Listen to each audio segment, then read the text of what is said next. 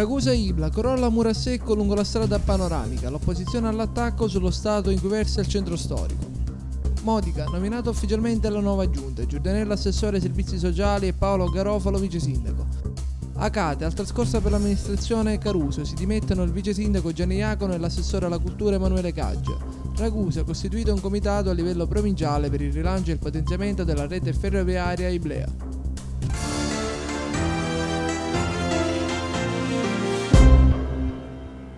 Ben ritrovati ad un nuovo appuntamento con eh, l'informazione di Free News. Come avete potuto sentire dai titoli, apertura di questa edizione dedicata all'ennesimo crollo a Ragusa. Sabato, sotto il peso delle violenti piogge, è crollato un tratto del muro a secco della strada della panoramica di Ragusa-Ibla. Per fortuna nessun danno a cose o persone, ma solo tanta paura, soprattutto per i residenti della casa soprastante, che per sicurezza hanno lasciato l'abitazione. Ma vediamo il servizio.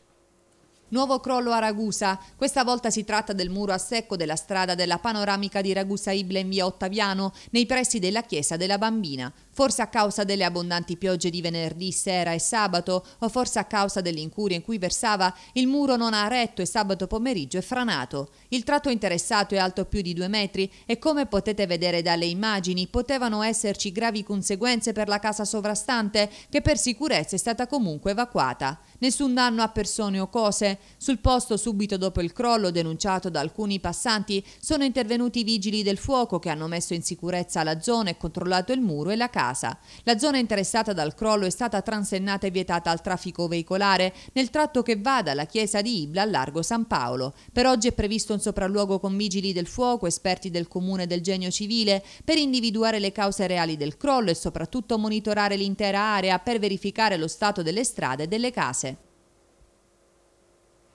E quello di sabato è l'ennesimo crollo per Ragusa, si tratta di una situazione sempre più pericolosa per la gente comune ed è solo un caso che sinora non ci siano stati feriti o peggio ancora vittime.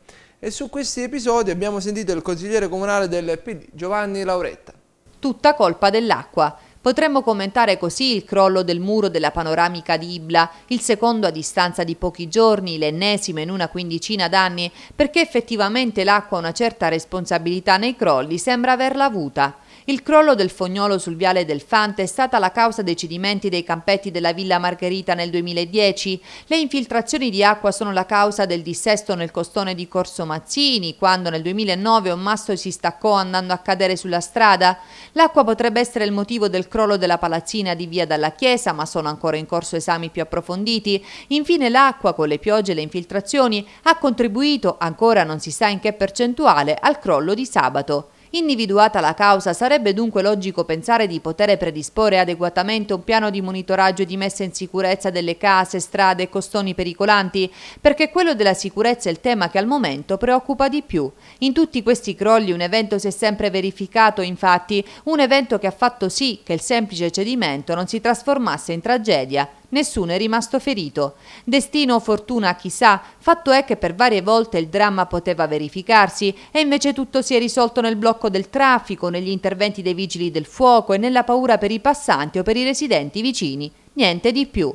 La città in questi giorni si è interrogata, a scendere in campo sono stati per primi i partiti politici a tutto a scapito del centro storico sono state le scelte dei nuovi dei piani costruttivi invece alla periferia di Ragusa dove si sta devastando un territorio delle aree agricole che si sta costruendo a macchia di leopardo e un centro storico che tutti i giorni troviamo sempre più abbandonato anche se qualche opera si tenta di fare ma non è appetibile ancora al rientro del, dei cittadini in centro storico e vediamo che anche le attività commerciali soffrono notevolmente di questo abbandono. Al di là del dibattito politico resta il fatto che come spesso accade a rischiare la gente comune che nulla sa dei sopralluoghi, dei piani urbanistici e di ogni altro cavillo burocratico. Sarà stata l'acqua, ma la colpa è anche di chi nulla fa per proteggere la vita di questa gente.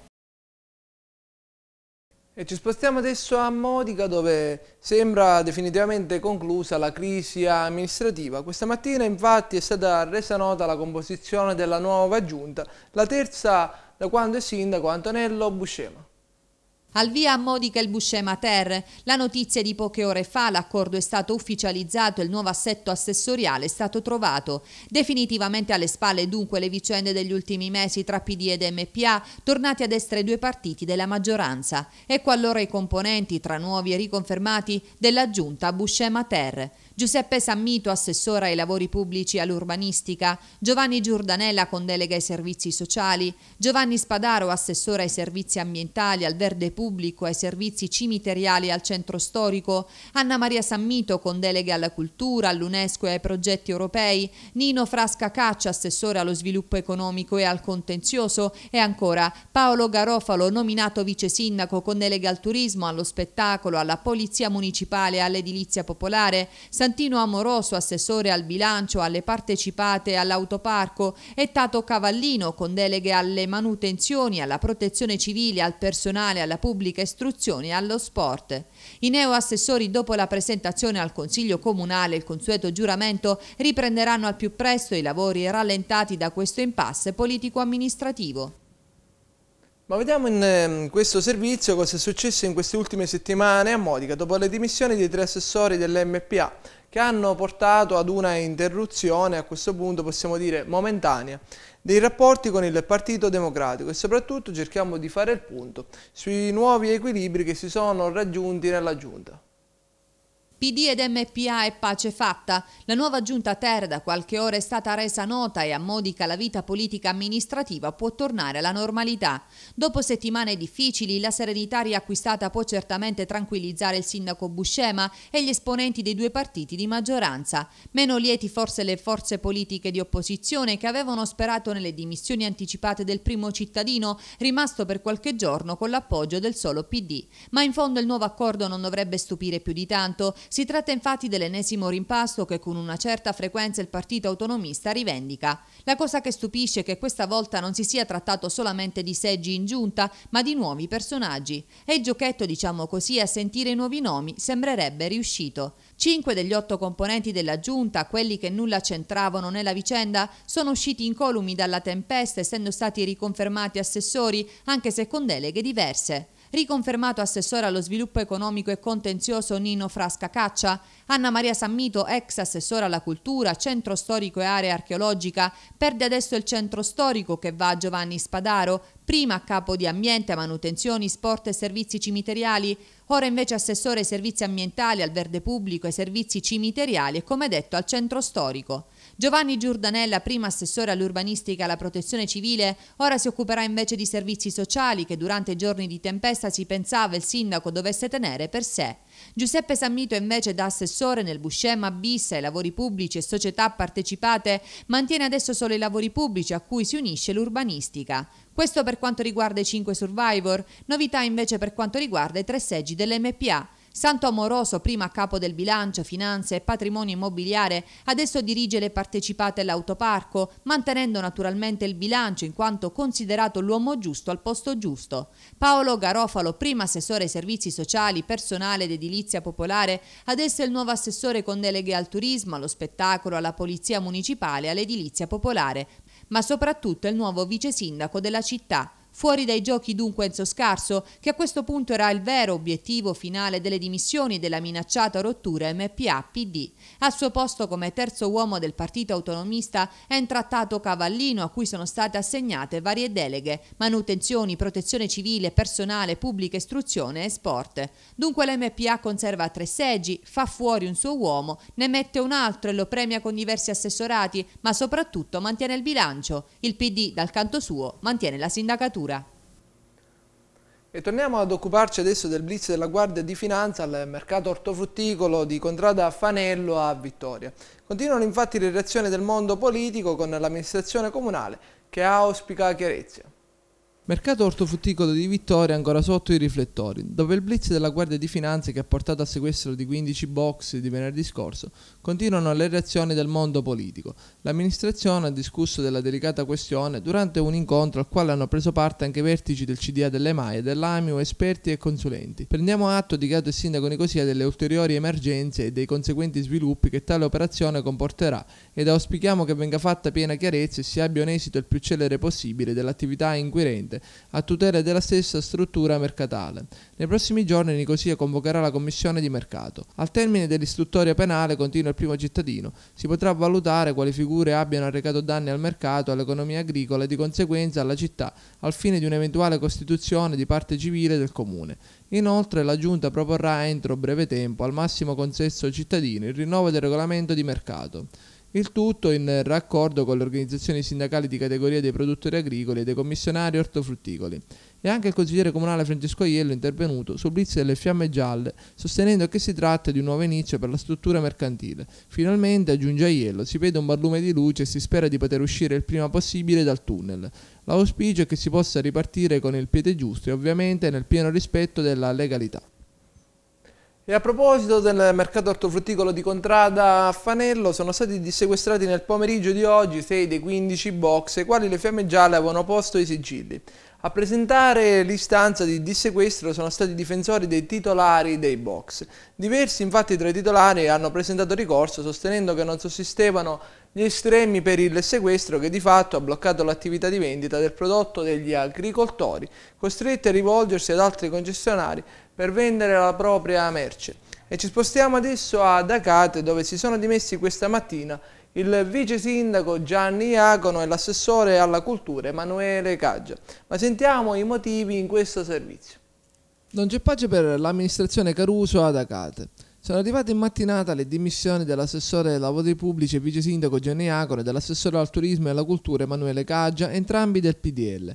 A spiegare i motivi di questa decisione è stato l'oramai ex vice sindaco Iacono che, contattato telefonicamente, ha parlato di una scelta politica che intende dare una scossa alla città di Acate.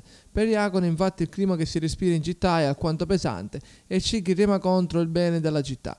Ed ancora per l'ex assessore è in atto un continuo massacro che punta a screditare gli assessori a livello personale, non solo a livello politico. A questo punto Acate dovrà ripartire da zero e le dimissioni di Iacono e Caggio suonano come l'ennesimo colpo per l'attuale amministrazione guidata dal sindaco Giovanni Caruso. Solo qualche giorno fa, lo ricordiamo, l'opposizione era riuscita ad eleggere il nuovo presidente del Consiglio Comunale, Giuseppe Di Natale, che ha preso il posto del dimissionario Giuseppe Leone. Ad un anno dalle elezioni la città di Acate vive un altro momento di crisi politica ed amministrativa. Difficile che vi siano altri stravolgimenti all'interno della maggioranza che sostiene il primo cittadino.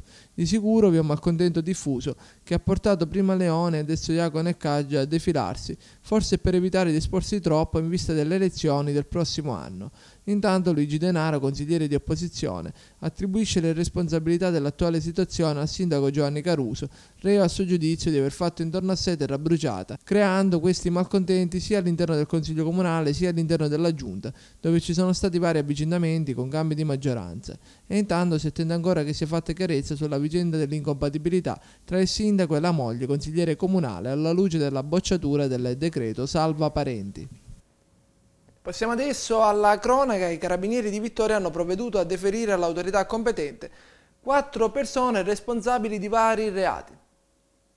Segnalate quattro persone. Nel corso dei servizi di controllo i carabinieri di Vittoria hanno deferito quattro persone, in particolare un vettoriese di 48 anni, pluripregiudicato, sottoposto alla misura di prevenzione della sorveglianza speciale, è stato sorpreso in via Gaeta a bordo di un ciclomotore condotto da un altro pregiudicato. Un tunisino di 21 anni, domiciliato nella città di Parina, celibe bracciante agricolo pregiudicato, sottoposto alla misura dell'obbligo di presentazione alla polizia giudiziaria, è stato sorpreso in via San Martino ed ha inoltre provato a fuggire fuggire nel momento in cui è stato avvicinato dai militari che gli chiedevano di esibire documenti. Ed ancora un rumeno di 28 anni, incensurato, è stato deferito poiché, dopo la perquisizione della propria autovettura, sono stati trovati nel vano portabagagli due contenitori in plastica contenenti circa 25 litri di gasolio, del quale non ha saputo fornire alcuna giustificazione. Infine un altro rumeno di 23 anni, residente ad Acate, celibe bracciante agricolo pregiudicato, sottoposto a controllo è stato trovato in possesso di 2 grammi di hashish. Un uomo di 40 anni originario di Rosolini ma residente a Pozzallo è stato denunciato per tentati abusi su una bambina di appena 10 anni. L'uomo avrebbe tentato di compiere atti sessuali sulla minorenne. Pare che il rosolinese, un commerciante, avrebbe attirato con l'inganno la bambina nel suo negozio di abbigliamento per poi cercare di approfittare. La bambina sarebbe poi riuscita a divincolarsi e a fuggire, raccontando ai genitori quanto accaduto. Ci fermiamo adesso per una breve pausa pubblicitaria, torniamo tra poco.